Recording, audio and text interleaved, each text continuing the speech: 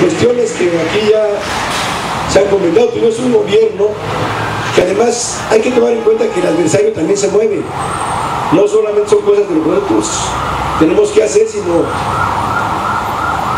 hubo muchas resistencias, mucho tiempo para que se diera esa elección de jefe de gobierno, porque siempre se argumentó que no era posible que en este mismo territorio pudieran compartir decisiones públicas el gobierno federal, el presidente de la República, y un gobierno local, con una policía propia, con una administración propia, en fin, ¿no?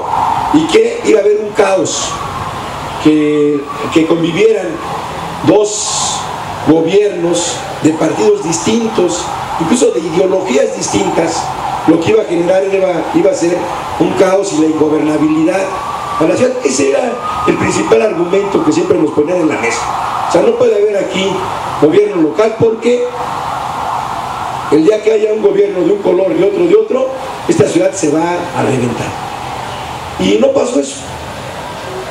Es más, ha habido conflictos muy fuertes entre el gobierno de la ciudad y el gobierno federal que en ningún otro estado de la República se ha vivido y esta ciudad está de pie, camina, toma decisiones. ¿no? Es la única ciudad que ha sido destituido un jefe de gobierno, un gobernador. Nuestra ciudad tuvo 10 días sin jefe de gobierno cuando el desafuero de Antemorón en el 2004. En cualquier otro estado de la República, la federación le hace eso a un estado y está en un conflicto de proporciones impensables. Y aquí ha habido conflictos muy fuertes la ciudad se mantiene. También estos ciudadanos, de los que somos parte nosotros, de pronto hacemos una, una apología de que la Ciudad de México es de izquierda.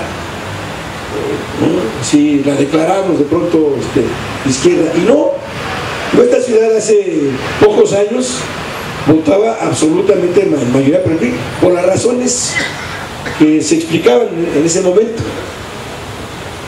Es una ciudad progresista, sí, es una ciudad liberal, sin duda, pero es una ciudad también con una diversidad política y una pluralidad importante, y sobre todo con un nivel de educación que obliga a que las responsabilidades que los gobiernos tienen que realizar las hagan, las hagan en ese aspecto, nosotros como partido, alguna vez lo comentamos, Martín fue presidente del PRD, Paco fue también dirigente integrante del comité, Manuel, el Súper, Roberto ahora mismo, Paco, Taigo también. Pero entre los temas que nosotros coincidimos es que, puro pecador, es que la derecha, la derecha no duerme tranquila desde que la izquierda gobierna la Ciudad de México, por la importancia política que tiene la Ciudad de México.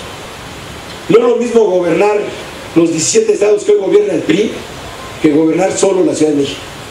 O sea, la importancia, el peso, la trascendencia que tiene la Ciudad de México es... Y desde entonces nos han golpeado, nos han golpeado políticamente con esto del desafuero, nos han golpeado económicamente. Cada año es un pleito de nunca acabar el asunto del presupuesto. Año con año hay crisis. No hay inversión federal en la Ciudad de México. Eh, apenas ahora con Calderón se empezaron a construir algunos hospitales de homeopatía, en fin, pero con Fox no hay una sola obra importante, seis años, con Cedillo no hubo una sola, pero con Fox fue la biblioteca esta de aquí de Buenavista, que fue un fraude, y la ampliación del aeropuerto la Terminal 2, otro fraude. Digo, o sea, la ciudad es castigada este, económicamente por parte de los... Eh, y vienen por nuestra ciudad, y eso es algo que nosotros no podemos perder de vista. Que efectivamente nosotros tenemos muchos errores. Miren, a mí me revienta la corrupción que sí se da en nuestras delegaciones políticas y en muchas ventanillas del gobierno central de la ciudad. Porque algo que no deberíamos hacer es eso. Podemos no saber administrar, que tiene su chiste. Nosotros llegamos en el 97 y la verdad es que no teníamos cuadros para gobernar. No teníamos cuadros suficientes para poder, con experiencia, para sacar adelante no solo la lógica de la administración, sino lo más importante del gobierno, es decir, de darle rumbo a, de transformar las cosas a favor de, porque una cosa es administrar y otra cosa es gobernar. Entonces, para esa parte de la administración nos faltaban cuadros, pero con los que teníamos, una regla que no podíamos perder era la honestidad, o sea, cero corrupción, cero corrupción. Y eso no lo hemos podido erradicar. De hecho, en la campaña del 99-2000 con Andrés Manuel, la frase más celebrada, algunos lo recordarán, era aquello de que al que le crezcan las uñas le vamos a dar manicure con machete. Y la gente lo aplaudía, porque ubicaba ahí un problema grave. Puedes meter la pata, pero no la mano. ¿Cuánta gente está detenida? ¿O cuánta gente fue despedida del gobierno? Que se supiera así, que se hiciera un escarmiento público. Sí, miren, todos estos que cobraban un diezmo o que cobraban sobre cuotas para hacer cualquier trámite están fuera de la administración, pero además este, están con procesos penales. Si los hubo, no se supo. Si los hubo, no se supo.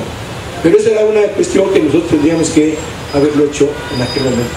Yo digo que, independientemente de que se tiene que atender todos nuestros, nuestros este, pendientes, nuestros errores, nuestras fallas, sí tenemos una mejor ciudad, pero que es nuestra responsabilidad además este, gobernarla en la lógica que, la gente lo plantea de una transformación donde los derechos sociales son el eje de la administración no se trata de administrar, sino de transformar los derechos de la gente por políticas públicas. Nosotros iniciamos con muchos programas sociales, con lo, y termino con esto Paco, elevándolos a rango de ley, justamente para quitar este asunto de lo clientelar, porque el programa social que no responde a una ley, pues lo puedes usar a tu antojo. Eso es lo que hace el PRI, es lo que hace el PAN cuando lo leas a nivel de ley, adquiere un carácter distinto. Esa parte la hemos venido construyendo, pero nosotros no podemos hacer a un lado la responsabilidad de no priorizar nuestras diferencias, a pesar de que las tenemos y fuertes, sobre las diferencias con nuestro adversario, con la derecha. Nosotros no podemos perder la Ciudad de México en el 2012 Va a ser muy difícil ganar la presidencia de la República, todos lo sabemos, pero no podemos perder la Ciudad de México.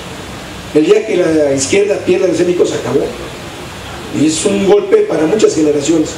Y nosotros necesitamos cuidar esto que es el principal aporte la carta de presentación de la izquierda. Y sobre esa base ponernos a corregir todos nuestros errores y a gobernar, a ofrecer un proyecto distinto al de la derecha, que ese es el otro asunto de fondo. Nosotros necesitamos dejarle claro a la gente, así gobierna la izquierda y así gobierna la derecha, porque llevamos 13 años y la verdad es que no hay una diferencia sustancial, que la gente diga, no, pues mira, con estos cuates vamos a seguir, vamos para adelante en los demás estados donde ellos pues tienen gente, ¿no? Esa parte de hacer la diferencia es central y estamos obligados a remarcarlo. Gracias. Descoincido parcialmente con Agustín un, tema que menciona, que es no teníamos gente para gobernar. No, yo diría no teníamos gente para gobernar dentro de la camisa de fuerza que era el Estado priista. Ciudadanos capaces había por miles ciudadanos honestos en la izquierda había por decenas de miles, gente que sabía lo que estaba pasando, que había sido despedida por haber dicho verdades y ser honesta, que sabía lo que ocurría en el agua, en el petróleo, en la red de drenaje, la había por millares. El problema es que no fueron elegidos siempre los mejores. Y esto es otro de los problemas y yo quisiera ponerlo en la mesa. La estructura del partido del PRD en el gobierno de la Ciudad de México ha seguido una lógica envenenada, que es la lógica de las cuotas. ¿Cuánta fuerza social tienes? 10. ¿Cuánta fuerza total tengo? 100. Te toca el 10% de los cargos de administración. Y así llega a la dirección de cultura de una delegación el maestro de guitarra del, del delegado, chica, de la hija del delegado, cuya única habilidad, y muy discutible, pues es que enseña a la hija a tocar la guitarra, ni siquiera sabemos qué bien. Y esto, y esto, ni siquiera. Y esto se repite cíclicamente. En la estructura del partido, la estructura de las cuotas es la dominante. No está la gente que sabe que tiene trayectoria, sino la gente que le corresponde a X tribu y por lo tanto es un cargo político para la acumulación política, no para la gestión administrativa. Está ahí para seguir haciendo crecer su tribu, no para desarrollar una gestión y esto se repite cíclicamente. Y esto me lleva a la idea que quería plantear, que es muy simple. No podemos desarrollar gestión administrativa ciudadana si no fortalecemos los espacios de los ciudadanos. El PRD le perdonó la vida al charrismo en el DF. Se la perdonó. El charrismo estaba al borde de la muerte en la Ciudad de México y simplemente con que se aplicara en tribunales la desaparición de los sindicatos de protección y la cárcel a los que estaban ejerciendo fraudulentamente la protección, vendiendo sindicato a los patrones con sindicatos blancos, se hubiera destruido un 30% de los aparatos de control en el movimiento obrero. El otro 40 o 50% estaba a manos de sindicatos corruptos que no tenían elecciones. Con que se hubiera, se hubiera aplicado a escala de Distrito Federal la Ley Federal del Trabajo, ¿sí? Se hubiera destruido toda la mafia sindical. Pero esto no podía suceder si no había contraparte, que había que estimular el surgimiento de una corriente de masas de sindicalismo democrático. Si no va uno con lo otro, no hay, no hay manera. Nosotros estamos viviendo en este instante y aquí una experiencia que ilustra la historia. Paloma desde la Secretaría de Cultura desarrolló los programas de fomento a la lectura más importantes que ha habido en la historia de este país. Vasconcelos era un pobre pendejo al lado de los programas que aquí se desarrollaron. Y tengo elementos para demostrarlo. Bien, los programas del metro, de los hospitales, con los policías. La Secretaría de Cultura de esta ciudad está en manos de una, no uso la palabra ciudadana porque le queda grande, una burócrata mediocre que está ahí por la alianza que hay entre Brand y una parte de los chuchos y su marido y le toca cuota, pues, ¿no? Está por cuota. Y se rompe el proyecto, matan los proyectos de promoción de la lectura. Bueno, desde la sociedad civil lo regeneramos. Esta experiencia y los 200 este, actos que hemos tenido 11 meses de promoción de la lectura, tianguis, bibliotecas populares, la hemos hecho desde la sociedad civil. El cambio viene por fuera, hacia adentro. Y cuando alguien diga tenemos que reconstruir la gestión del aparato del Estado, pues la experiencia está acumulada y ha demostrado ser exitosa y está arraigada popularmente. ¿sí? No necesitamos inventar ni buscar el maestro de guitarra de la hija de un delegado. ¿no? Hay una experiencia que viene de abajo. Entonces, si no estimulamos el resurgimiento de las fuerzas sociales, si no vamos a la guerra contra las estructuras corruptas en el movimiento urbano, en la vivienda, este, en, el espacio sindical, si no protegemos y apoyamos a los maestros de la sección 9 que están dando una lucha heroica, heroica para sobrevivir con los, con los embates de la bruja del Baster Gordillo, cortándoles, quitándoles presupuesto, ahogándolos económicamente, retirándoles gestión, poniéndoles policías aparentemente con nombre de maestro a controlar, a vigilar y a reprimir escuela por escuela. ¿Cómo podemos esperar que se reconstruya la ciudad? ¿Cómo podemos crear una Secretaría de Educación en la Ciudad de México si no somos capaces de colaborar a liberar las fuerzas que ahí están y que están luchando?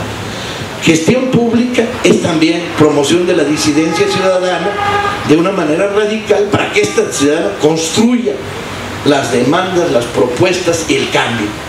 ¿Sí? Y en el momento en que llegue alguien a la Secretaría de Educación, tiene que asumir un compromiso, no con el buró, la secretaria, la pinche puerta y los dos choferes, tiene que asumir un compromiso con los maestros de esta ciudad, con los estudiantes de esta ciudad, con las escuelas de esta ciudad. ¿sí? Y solo así se puede elaborar gestión pública. La gestión pública no está separada de la lucha política por la transformación de la sociedad.